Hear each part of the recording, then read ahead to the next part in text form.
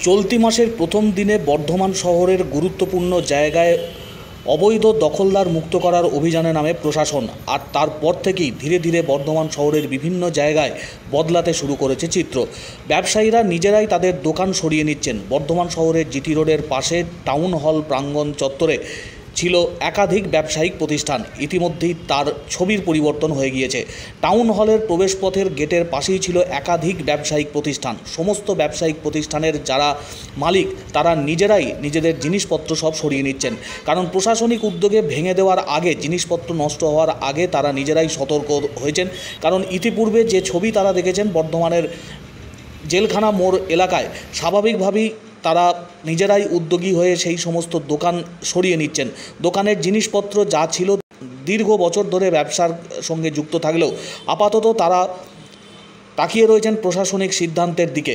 নির্দিষ্ট কোনো জায়গা পেলে তারা পুনরায় ব্যবসা শুরু করতে পারবেন, কারণ এই ব্যবসার উপরেই তাদের রুটি রুজি নির্ভর করছিল, এমনটাই জানাচ্ছেন ব্যবসায়ীরা। বর্ধমান টাউন হলের প্রবেশপথে প্রচুর ব্যবসায়িক প্রতিষ্ঠান ছিল এবং সেই ব্যবসায়িক প্রতিষ্ঠানের যারা মালিক, তারা নিজেরাই উদ্যোগী হয়েছেন, তারা নিজেরাই সেই সমস্ত জিনিসপত্র সরানোর কাজ শুরু করেছেন এবং যে অস্থায়ী দোকান তৈরি করে তারা এতদিন ব্যবসা করতেন, সেই সমস্ত অস্থায়ী দোকানের সমস্ত জিনিসপত্র তারা নিজেরাই সরিয়ে নিচ্ছেন। প্রশাসনিক তরফ থেকে দ্বিতীয় দিন এখনও পর্যন্ত আর অভিযান হয়নি। তবে বর্ধমান পৌরসভার পঁয়ত্রিশটি ওয়ার্ড জুড়েই পর্যায়ক্রমে অভিযান চলবে, এমনটাই জানিয়েছেন প্রশাসনিক কর্তারা। তবে স্থায়ী বা উপযুক্ত পুনর্বাসন না দিয়ে কোনোভাবেই হকার উচ্ছেদ করা যাবে না বলে ইতিমধ্যেই রাস্তায় নেমেছে বাম সংগঠন। বাম ট্রেড ইউনিয়নের তরফ থেকে এবং বস্তি ইউনিয়নের তরফ থেকে বর্ধমান শহরে যেমন মিছিলের আয়োজন করা হয়, এসইউসিআইয়ের পক্ষ থেকেও বর্ধমান উত্তরের মহকুমা শাসকের দপ্তরের সামনে বিক্ষোভ দেখানো হয়, এমনকি স্মারকলিপিও পেশ করা হয়েছে। উপযুক্ত পুনর্বাসন দিতে হবে এই সমস্ত হকারদের এই দাবিতে সরব হয়েছে বিভিন্ন রাজনৈতিক দল। যদিও প্রশাসনিক সিদ্ধান্তের দিকেই তাকিয়ে রয়েছেন বর্ধমান শহরের ব্যবসায়ীরা, তবে প্রথম দিনের যে অভিযান তারপরে বর্ধমান শহরের বিভিন্ন জায়গার চিত্র বদলাতে শুরু করেছে একটু একটু করে। বর্ধমানের অত্যন্ত ব্যস্ততম বর্ধমান কার্জন গেট চত্বর বিসি রোড, সেখানেও রাস্তার ধার থেকে হকাররা ইতিমধ্যেই তাদের জিনিসপত্র সরিয়ে নিয়েছেন।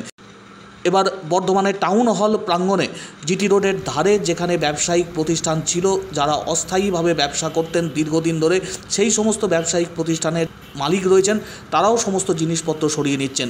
একটু একটু করে বদলে যাচ্ছে বর্ধমান শহরের রাস্তার দুপাশের চিত্র। প্রশাসনিক এই হস্তক্ষেপ নিয়ে গোটা বর্ধমান শহর জুড়ে মিশ্র প্রতিক্রিয়া। একাংশ মানুষজন প্রশাসনের এই উদ্যোগকে সাধুবাদ জানাচ্ছেন, আবার একাংশ মানুষজনের মধ্যে প্রশ্ন রয়েছে, এই চিত্র বা এই পরিবর্তন আদৌ কতদিন? সামনেই রথযাত্রা, তারপর রয়েছে দুর্গোৎসব। আদৌ কি এই ফুটপাত ফাঁকা থাকবে, নাকি পরবর্তী সময়ে আবারও এই ফুটপাত দখল হয়ে যাবে? এবং পশা সাজিয়ে বসবেন বিভিন্ন ব্যবসায়ীরা, তা নিয়েও প্রশ্নচিহ্ন রয়েছে নানা মহলে। তবে ফুটপাতের ব্যবসায়ীরা তারাও চাইছেন শহর পরিষ্কার পরিচ্ছন্ন হোক, গতি বাড়ুক শহরের। তবে তাদের জন্য স্থায়ী কোনো ব্যবস্থা করা হোক এবং পুনর্বাসন দেওয়া হোক।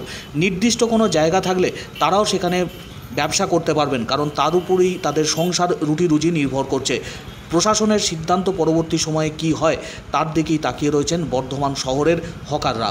তো বলুন সরকার থেকে বলেছে বাধ্যতায় তুলতেই হবে। এগুলো আমাদের ছোটোবেলা থেকে সব দোকান আজ অনেক বছরই হয়ে গেল এগুলো করে তো আমাদের সংসার। কী করা যাবে? এবার সরকার যেটা বলবে আমাদের যেহেতু করতেই হবে। আর তাছাড়া তো যেহেতু সরকারি জায়গা এবার দেখি আমাদের ভবিষ্যৎ কী হবে। তো- হ্যাঁ অবশ্যই। সেই কারণে নিজেরাই খুলে নিয়েছেন? হ্যাঁ নিজেরাই আমার ফুটবল ছেলে দোকান আচ্ছা। দোকান ছিল এখানে? এখানে অনেকগুলো দোকান ছিল। মোটামুটি দশখানা সব খুলে নিয়ে হ্যাঁ, আমাদের যদি একটা ব্যবস্থা করে দিতেন তাতে খুবই ভালো হতো আশা করি। কারণ আমরাও তো খেটে খাওয়া মানুষ আমাদের উপর আমাদের এইগুলোর উপরেই সমস্ত সংসারগুলো ডিপেন্ড করছে। এবারে আমাদের যদি এইভাবে বলে যে হবে না এবারে আমরা করবোটা কি তাহলে? আমাদের না আছে চাকরি না আছে কিছুই এই অবস্থায় আমরা যাব? পশ্চিমবঙ্গের অন্যতম নির্ভরযোগ্য engineering college Mallabhumi institute of টেকনোলজিতে স্বাগতম। প্রতিষ্ঠিত দু হাজার দুই সালে যেখানে উদ্ভাবন মিলিত হয় উৎকর্ষের সাথে। আমাদের আধুনিক শ্রেণীকক্ষ এবং ল্যাব শিক্ষার সেরা পরিবেশ দিই নিবেদিত শিক্ষক শিক্ষকগণ ছাত্রছাত্রীদের গাইড করেন এবং অনুপ্রাণিত করেন। রোবোটিক্স থেকে সাংস্কৃতিক উৎসব। আমরা সৃজনশীলতা ও নেতৃত্বকে লালন করি। আমাদের প্রাক্তন ছাত্রছাত্রীরা সারা বিশ্বে সাফল্য অর্জন করেছে। মল্লভূম ইনস্টিটিউট অফ টেকনোলজি প্রতিটি ছাত্রের জন্য ভবিষ্যৎ গড়ে তোলে। আমরা পাঁচটি কোর্স অফার করি computer science mechanical civil electrical এবং ইলেকট্রনিক্স অ্যান্ড কমিউনিকেশন ইঞ্জিনিয়ারিং আজই ভর্তি হন এবং আমাদের যাত্রায় অংশগ্রহণ করুন। যোগাযোগ eight double three six nine eight four two seven eight